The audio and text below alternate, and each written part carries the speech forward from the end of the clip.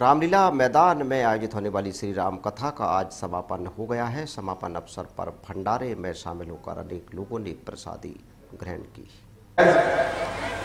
हनुमान जी महाराज क्या कहते हैं?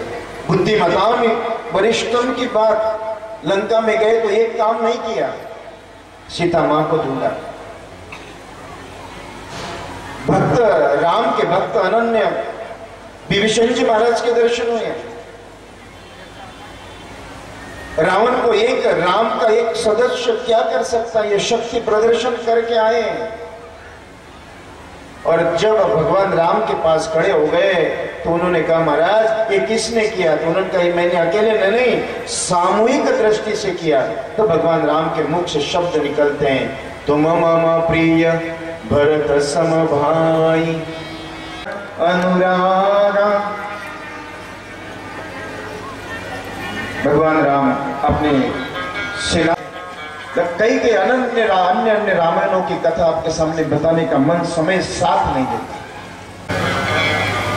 कहते हैं कि स्वयं राम समुद्र से कई दिन समुद्र के ऊपर क्रोधित हो गए।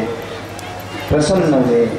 सेतु दो पत्थर पे, एक पत्थर पे नल और नील, एक पत्थर पे राव, दूसरे पे म। दोनों पत्थर जुड़ जाते थे। जो आज भी प्रमाण है। और ये बात रावण को पता चली। राम तैरते तैरते रावणों को विश्वास सभी राक्षसों को विश्वास हुआ कि हमारे राम, रावण भी कम नहीं है। रात्रि में मंदोदरी ने अपने पति से पूछती है, महाराज बताइए, क्या सत्य है? आपके नाम से पत्थर तैरने लगे? रावण ने कहा हाँ। बोले, महाराज, ये सत्य नहीं है। इसका गुह्यतम बात बताइए शपथ देता था, तुझे राम की शपथ अगर तू पानी में डूब गया तो महाराज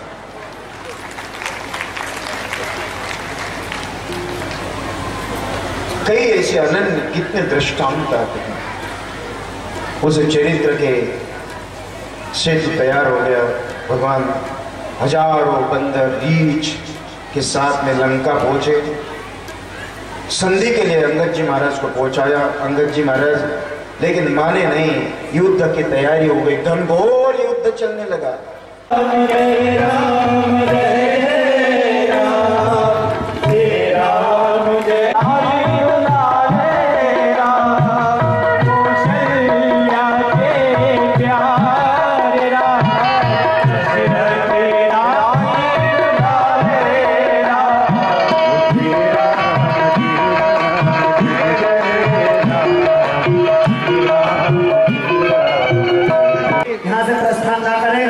सभी कार्यकर्ता जो सात दिन से तन मन से यहाँ लगे हुए हैं उनसे निवेदन है कि आज भी इस भंडारे में सभी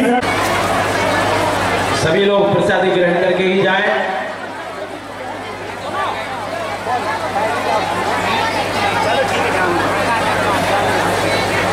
आहुति छोड़ रहे थे। आज भी जो आहुति छोड़ रहे हैं, सभी श्रद्धालुओं को के लिए और